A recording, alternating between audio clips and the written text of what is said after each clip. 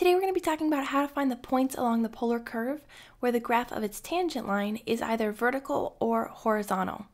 And in this particular problem, we've been given the polar curve r equals 3 cosine theta, and I asked to find this curve's vertical and horizontal tangent lines. So the first thing we need to do is realize that the graph will have vertical tangent lines where the derivative is undefined and horizontal tangent lines where the derivative is equal to zero. In either case, we're interested in the derivative of this curve, so we need to go ahead and find that. The way that we're going to do it is first by converting this curve from a polar curve to a Cartesian curve. As a reminder, we have our conversion equations here for x and y, and all we're going to do is take our value for r, so we have r here defined as 3 cosine theta, and we're going to plug that value for r into r here in our formulas to get a formula for x and y in terms of theta. So when we do that, you'll notice our formula for x will be x equals, we'll plug in 3 cosine theta for r, and we'll get 3 cosine theta times cosine theta here in our formula already, times cosine theta. And for y, we'll get y equals, again, plugging in r, so 3 cosine theta times sine of theta, which was already part of our original formula for y. We can simplify our formula here for x and get 3 cosine squared theta, but either way, now we have equations for x and y. Now to take the derivative in terms of Cartesian coordinates, we have dy over dx, and all we're going to do to find the derivative here is divide our equation for y in terms of theta by our equation for x in terms of theta.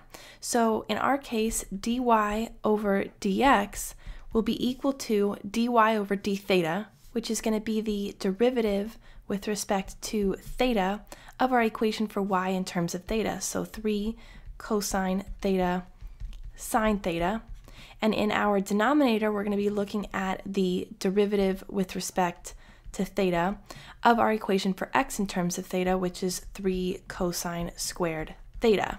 In other words, we need to take the derivative of 3 cosine theta times sine theta, and we need to take the derivative of 3 cosine squared theta.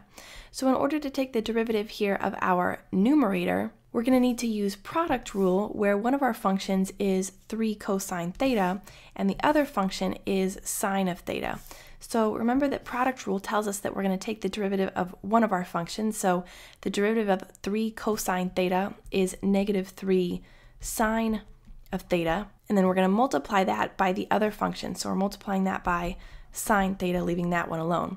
Then we'll add to that the opposite situation. We'll leave 3 cosine theta alone, so 3 cosine theta, and we'll multiply by the derivative this time of sine theta. The derivative of sine theta is cosine theta, so there's our derivative.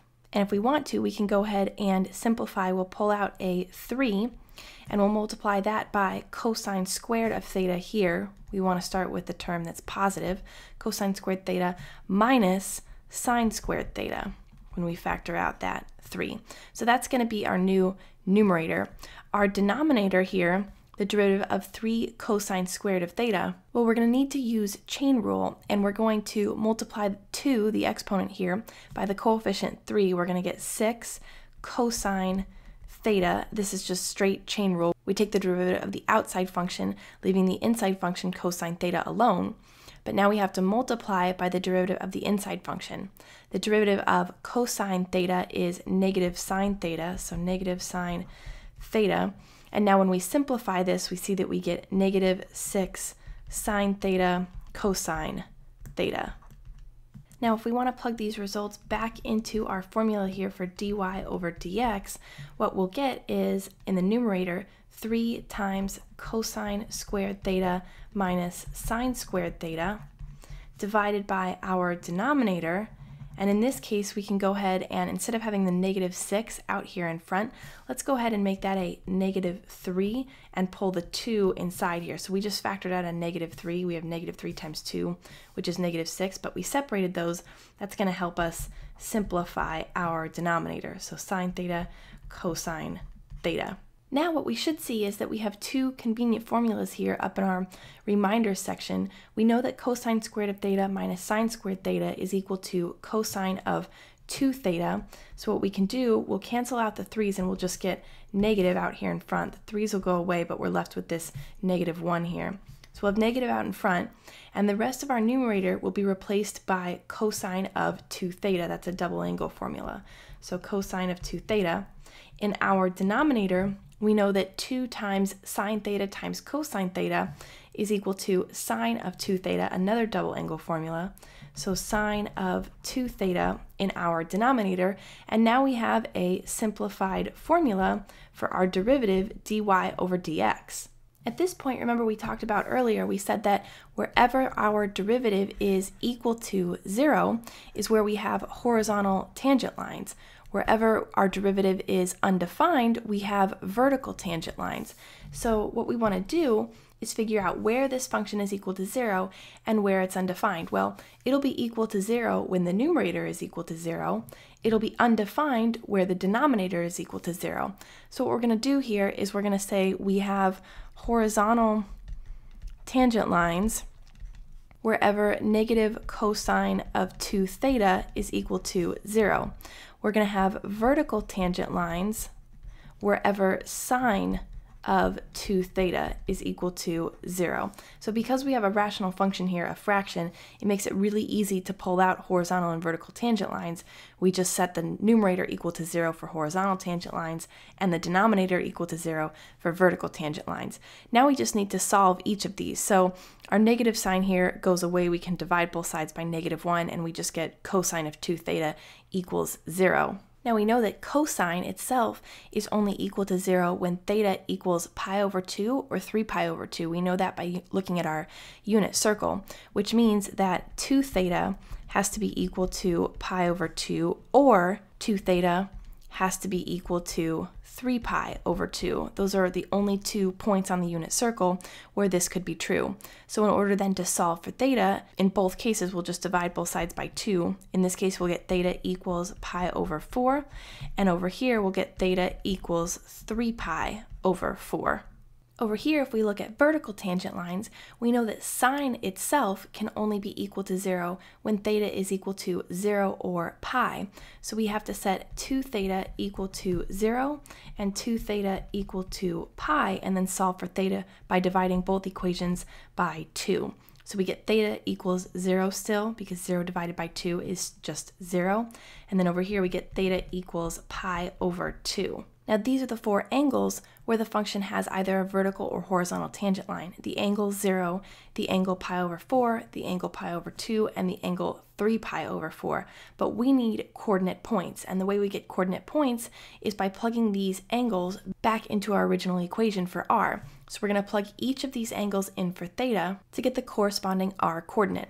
So when we plug in pi over 4, we'll get r equals 3 times cosine of pi over 4.